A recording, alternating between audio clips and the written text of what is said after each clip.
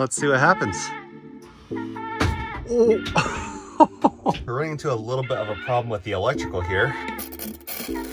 Yeah, yeah, that's the problem. What is up guys? 7 Savage here, coming at you today with another episode of having no idea what I'm doing and figuring it out along the way. Today we are doing a very exciting project. We are gonna be building the bed in the back of our camper van here. This ain't no regular camper van bed. This is gonna be a bed lift system. Before we get started, if you are new to the channel, we have been converting this camper van right here. We've been building everything inside of this DIY from the electrical system to the plumbing system to all the cabinetry. And we're getting pretty darn close to completing this thing and starting to travel around in it. Let's go ahead and dive right in. So first things first, why did I end up choosing to go with a bed lift system?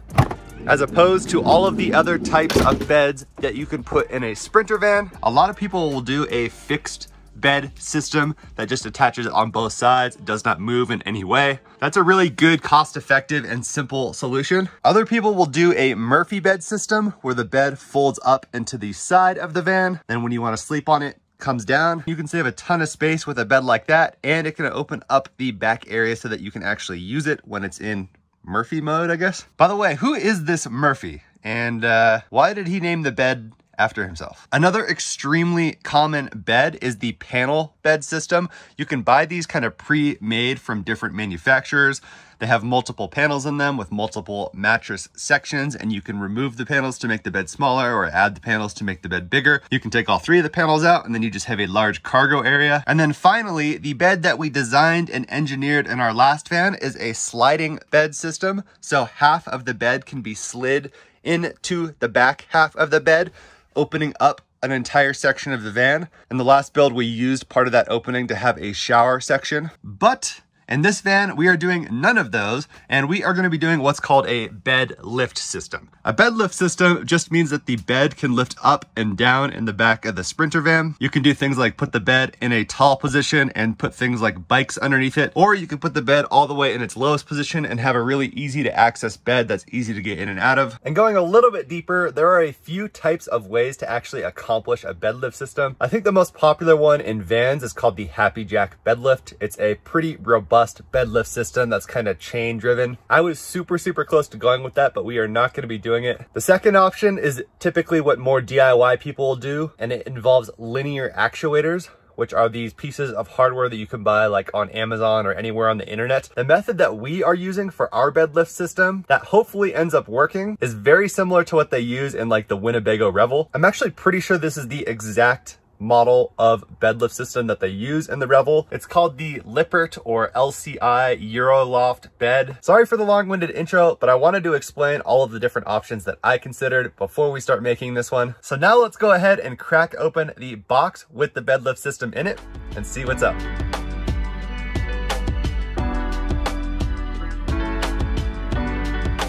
So we just got this puppy open and my initial impressions are that this is actually very well engineered. Overall, it seems like a pretty simple system. We have the bed platform itself that contains the motor allowing it to move up and down. The straps are also underneath there. We've got two guide rails that are gonna help keep this thing aligned as it's going up and down. And then we have all of the electrical and mounting hardware. The only problem that's kind of immediately obvious is how flippin' small this bed platform is. This is basically like a large dog bed if I were to have to describe it. So now I think what I'm gonna do is just loosely place this platform inside of the van and start getting a feel for where I actually want to mount all the different componentry. All right, so we got the platform set in here. Before we actually start ripping this whole thing apart, I think it's probably smartest to just try and make the default system work. Let's see if we can get it working exactly the way that it came out of the box. Alrighty, y'all, we got each one of the four corners mounted up. The first way that we did it were these two back ones. I just used number 10 stainless sheet metal screws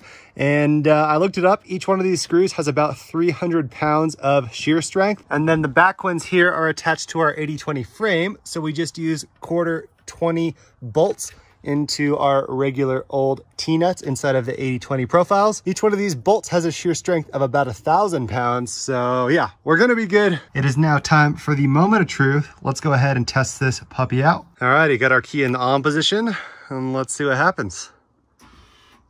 Oh. Thing just immediately swung which I guess makes sense. Let's keep on trying it, see if we can make it a little higher. I think it's fair to say that this thing works. So for the next step, we're actually gonna do the electrical. So I'm gonna rig this up. It'll be pretty simple, and then I'll give you guys an overview when it's done. Every time I put in a fuse, it, uh, yeah, yeah, that's the problem. So because of that short, I actually came back to my computer here and diagrammed this wiring harness out because I'm extremely confused as to why this could be happening. Alrighty, so uh, to demonstrate just how dumb I am, basically,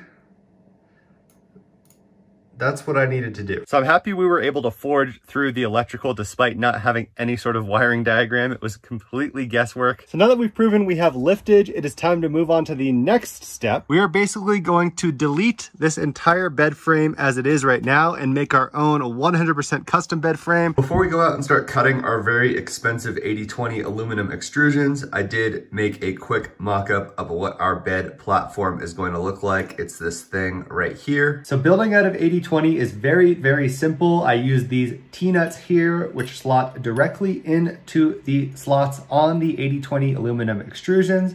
And then I take a small bolt as well as an 80-20 angle bracket to attach each extrusion to the next one. The entire structure for this van was built out of these four components. Can see more details in the 80-20 video popping up on the screen right here. All right, so we have transplanted the drive shaft and motor here, which was pretty dang easy. I was able to just drill holes in different pieces that already came with this drive shaft and motor, and they attached pretty easy to some 80-20. It is now time to test out our custom bed frame. Chickity check it, y'all. We got liftage. Let's see how high it goes.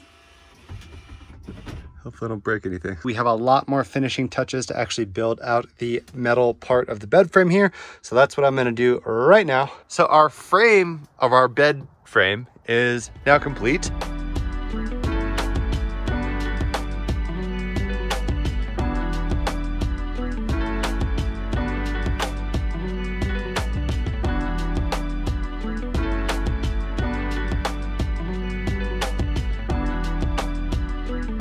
So now what we need to do is put some plywood on top of this bad boy so that we have a nice smooth platform to lay our mattress on top of. We're gonna use the same half inch pre-finished maple plywood that we used in the rest of the van. This right here is pretty much my recipe for cutting any of the wood pieces in the van. I'll put a link to all this in the description below.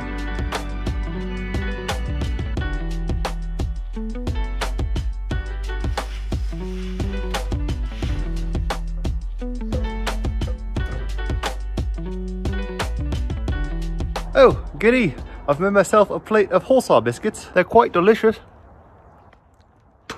So we now have our holy wood mounted to the top of the skeleton that we made and it fits pretty dang good. There are a couple of reasons that I drilled all these holes. Reason number one, you wanna have some ventilation for the mattress that sits on top. You don't want any moisture to get trapped inside of the mattress and it to mold over time. And if you've ever sat on a mattress that's on a non-ventilated surface, it's kind of like an awkward like and then the air kind of pushes out the sides. And then the second reason for these holes, kind of a side effect, is that it makes the plywood lighter. And finally, after all of the work that we've put into this bed, it is completely done. Let's go ahead and give it the old college try.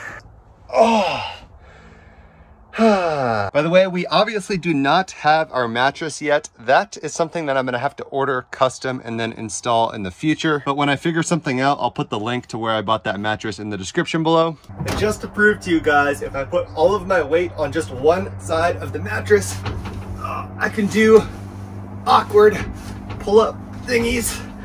Geez, I need to start going back to the gym. I feel like it's very, very sturdy. It's definitely gonna hold all of my weight. And not just my weight, you could probably get three or even four people on here and it would be just fine. On the long side, the bed is a little bit over 76 inches long. And then most of the bed, except for this very back section here, is about 61 inches wide. I can give you guys a quick demo of the height range that this thing goes up and down between. This is actually a pretty darn convenient height for a bed. It's very easy for me to kind of just plop down onto the top of it. Very easy for me to get out as well. And although this is the height that I would prefer to sleep at as it is the most comfortable being the lowest, there's no way you're gonna be able to fit something like a mountain bike underneath here. Thankfully, we have a solution for that.